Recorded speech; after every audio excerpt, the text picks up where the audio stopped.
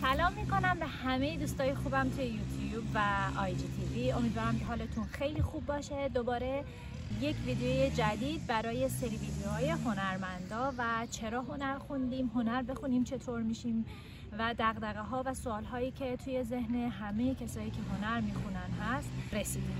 این ویدیو راجع به یکی از بهترین دوست های منه. و زندگیش که از کجا چه رشته خوند و الان چی کار می‌کنه. من انقدر با این دوستم خاطره دارم. خاطره های خنده دار دارم که واقعا از خدا می‌خوام همه یکی از این دوستا رو داشته باشن. یعنی توی زندگی یکی از واجبات زندگی اینه که یکی از این دوستا رو داشته باشید ببخشید از صداهای اطرافم و بالاخره بهار اومده همه دستگاه های چمنزنیشون رو برداشتن و دارن چمن می‌زنن. اگه صدا اذیتتون می‌کنه از همینجا واقعا معذرت می‌خوام. امیدوارم یکم این دستگاهش رو خاموش کنه ما ویدیو رو بگیریم. ولی هوا انقدر قشنگ و خوب و رویاییه هوای بهاریه که دلم نیومد این ویدیو رو توی خونه بگیرم. منیجه یکی از دوستای منه که ما از دبیرستان با هم بودیم تا همین الانش. یعنی سالیان سال من باهاش دوستم و خاطرهای خیلی زیادی داریم. خیلی پستی بلندی های زیادی با هم رد کردیم و الان حالا به اینجا رسیدیم و امیدوارم از اینجا هم به خیلی جاهای بهتر و بلندتر و با کیفیتتر صعود کنیم. من نمی‌خوام بیشتر از این در مورد منیجه بهتون بگم. دوست دارم خودش خودش رو معرفی کنه. منیجه عزیزم اگه میشه خودتو برای ما معرفی کن. سلام دوستان. من منیجه سید حسینی متولد 1364 و دیپلم گرافیک، لیسانس نقاشی و فوق لیسانس تاریخ هنر ایران باستان. هنر خوندم. هنر یکی از رشته هایی بود که من واقعا عاشقانه فکر کنم از دوره راهنمایی که قبل از اینکه رشته انتخاب بکنن دانش آموزا خودشون عاشق این رشته بودم و می‌گفتم غیر از اینکه کار دیگه ای بکنم فقط باید هنر بخونم هنر توی زندگی یا اینکه حالا رشته های مختلف هنر توی زندگی من خیلی تأثیر گذار بود. با اینکه خیلی سختی کشیدم با اینکه خیلی تلاش کردم و با اینکه سماجت کردم توی کارم ولی تا اینجا تونستم که حداقل حداقل رضایت خودم رو جلب بکنم. البته باز راه هست. منیجه روند کار هنری چطوری بود؟ از کجا شروع کردی و چیا خوندی و الان داری چی کار می‌کنی؟ چیزی که توی این ویدیو می‌خوام براتون توضیح بدم اینه که چه اتفاقی توی روند هنری من افتاد و چه کارهایی کردم و الان چی کار دارم می‌کنم من در حال حاضر طراح طلا و جواهرات هستم مدرس هستم توی این زمینه و با یه سری از شرکت ها و برند ها دارم همکاری می‌کنم و براشون طراحی می‌کنم توی زمینه طراحی طلا و جواهرات من سالی که لیسانسم رو تموم کردم با یکی از دوستان عزیزم که این ویدیو هم داره برام درست می‌کنه مهدی جان رفتیم یک آموزشگاهی و دوره ساخت طلا و جواهرات رو گذروندیم با هم. این دوره خیلی پربار بود. با استادی هم که داشتیم خیلی تونستیم اطلاعات زیادی کسب بکنیم. و بعد من به این رشته واقعا علاقه من شدم و با تحقیقاتی که کردم البته سال 86 که ما این کار رو شروع کردیم خب عملا هیچ کسی آشنا نبود با این رشته. حتی در زمینه ای که به صورت هنری پیش برن. من شروع کردم یه سری تحقیقات رو کردم راجبش با اینکه رشتم هم نقاشی بود که خیلی کمکم کرد توی این کار. شروع کردم یه سری تحقیقات رو کردم راجب طراحی طلا و جواهرات. منبع موثقی برای این نبود که من درست بتونم تحقیق بکنم درست بتونم اطلاعات رو جمع بکنم و اون زمان هم حدود مثلا 12 13 سال پیش اینترنت به این حجم در دسترس مردم نبود و کامل نمی‌تونستن استفاده بکنن. ولی خب شروع کردم این کار رو. عاشقانه شروع کردم. شاید یک استارتی بود برای اینکه یک اتفاق خوبی بیفته توی زندگی من ولی خب اون موقع نمی‌دونستم. نقاشی چه کمکی بهت کرد توی زندگی؟ دیدگاهت رو چقدر تونست تغییر بده و اصلا کجای زندگیته؟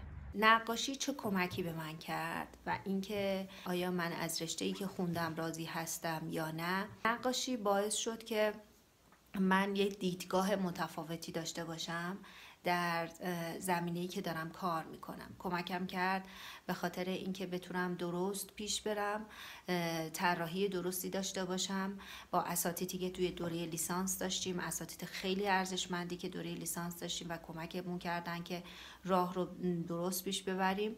هر چیزی رو که بلد بودن و می‌دونستن به ما آموزش دادن. دانشگاه آزاد اسلامی توی تبریز. یکی از دانشگاه هایی بود که خب لیسانس دوره لیسانس نقاشی داشتن.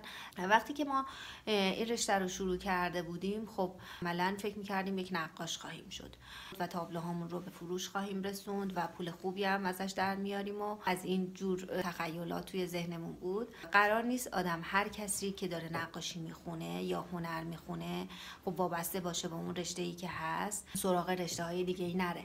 خیلی از دوستان ما مثلا ممکنه نقاشی خونده باشن عکاس شده باشن ممکنه نقاشی خونده باشن یک گالری دار ای شده باشن. ولی من راهم رو یه مدل دیگه شروع کردم. من زمانی که لیسانسم رو تموم کردم خب تلاش کردم نقاشیم رو پیش ببرم جستجو کردم تحقیق کردم نمایشگاه گذاشتم و سعی کردم که با این رشته پیش برم. ولی در کنارش داشتم طراحی طلا و جواهرات رو به ناب سفارش هایی که داشتم انجام می‌دادم. ولی خب خیلی علمی پیش نمی‌رفتم. بعد از اینکه فوق لیسانسم رو تموم کردم و تونستم کد مدرسیم رو بگیرم شروع کردم به اینکه کارم رو صورت تدریس پیش ببرم. اتفاقی که برای من افتاد و به کمک یکی از دوستای خیلی عزیزم شبو جان من وارد دانشگاه طلا و جواهرات شدم. این رشته یکی از رشته های نوپایی بود که توی تهران داشت شروع می شد و قدم برمی داشت من از اونجا شروع کردم تدریسم رو به صورت علمی و اکادمیک از دانشگاه علمی کاربردی شروع کردم. نقاشی چه کمکی بهت کرد و دیدگاهت چیه در موردش؟ باید بگم که خیلی اهمیت داره. خیلی خیلی زیاد اهمیت نه اینکه کسی که حالا مثلا هنر نخونده هیچ کار هنری دیگه ای نمی‌تونه انجام بده یا به صورت آکادمی جلو نرفته نمی‌تونه هیچ کار هنری انجام بده نه.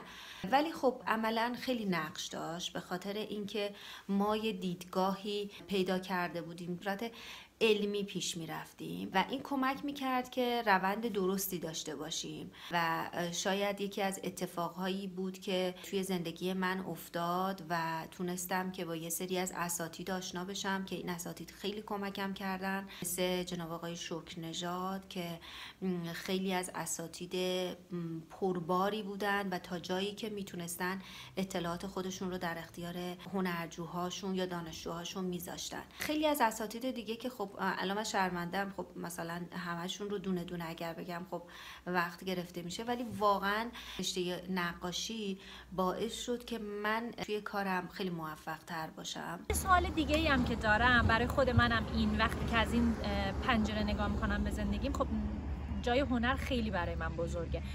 جای هنر توی زندگی تو چیه؟ نه فقط نقاشی کلا هنر توی زندگی چیه و چه تغییری توی زندگی تو ایجاد کردش؟ هنر واقعا دیدگاه رو عوض می‌کنه نوع زندگی کردن رو عوض می‌کنه. به چیزهای پوچ خیلی فکر نمی کنید و سعی می‌کنید که یک روز مفیدی رو برای خودتون بسازید حتی اگر سر کار نرین. باعث میشه که شما مشغولی های خوبی داشته باشین حتی اگر خونه باشین. باعث میشه که به چیزهای بیهوده فکر نکنه. این برای من خیلی مهمه. مهم اینه که سعی می‌کنم به فوقی که خودم تعریف کردم فکر بکنم. نه چیزهایی که توی اطرافم هست و شاید خیلی من رو تحت تاثیر قرار نمی‌ذاره.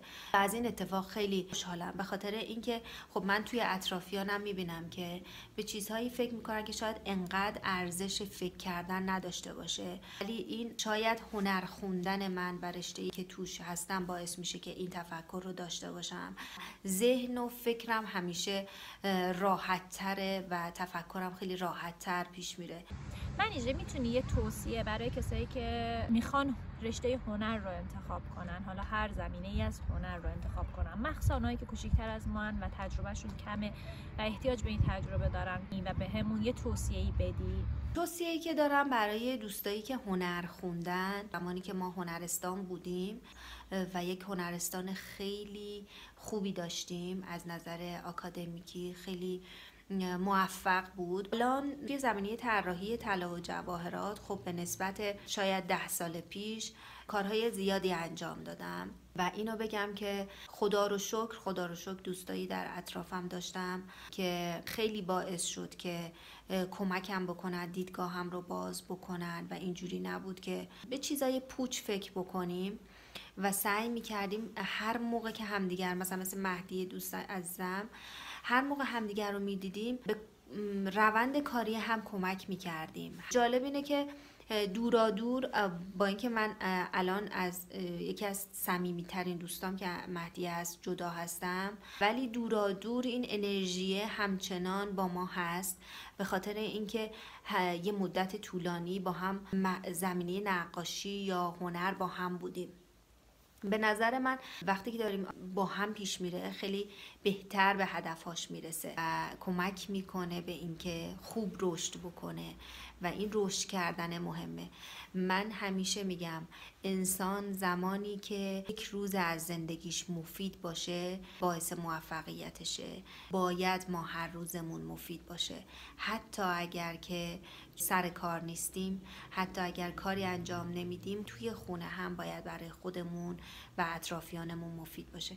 امیدوارم که دوستی من و تو تا آخرین لحظه زندگیمون و عمرمون ادامه پیدا کنه. هر چقدر از هم دور هستیم دلامون مثل الان به هم نزدیک باشه. همیشه با هم در ارتباط باشیم و همیشه از ته دل باهات بخندم. واقعا وقتی که باهات صحبت بکنم اون روز برای من قشنگترین روزه و خیلی هم خندیدم و خیلی هم شادم و آدم از یک دوست از یک نفر توی زندگیش چی می‌خواد؟ در آخرم باید خیلی تشکر بکنم خیلی ممنونم اینکه ویدیوهای من رو گوش دادین خیلی تشکر می‌کنم از دوست خیلی خیلی خیلی نازنینم مهدیه که این فرصت رو به من داد که توضیح بدم که وقتی آدم هنر می‌خونه چه اتفاقهای عجیب غریب و قشنگی توی زندگیش میفته ممنونم ازتون ممنونم که گوش دادین. امیدوارم که براتون مفید باشه.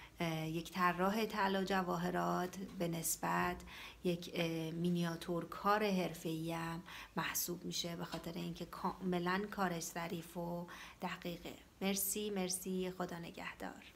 خیلی خیلی ازت متشکرم که تو وارد زندگی من شدی دوست من شدی و ازت ممنونم که دعوت من رو به کانالم پذیرفتی و این اطلاعات خیلی خیلی قشنگ رو در اختیار ما گذاشتی. امیدوارم از اینی که الان هستی صدها بار موفق تر باشی. هر روز شاهد موفقیت هات بشم. هم تو رو میبوسم و هم ممنونم از کسایی که این ویدیو رو تا آخرش نگاه کردن. امیدوارم به دردتون خورده باشه.